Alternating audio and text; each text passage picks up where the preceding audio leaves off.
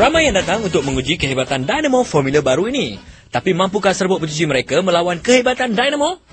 Mari kita tanya pendapat wanita di sini.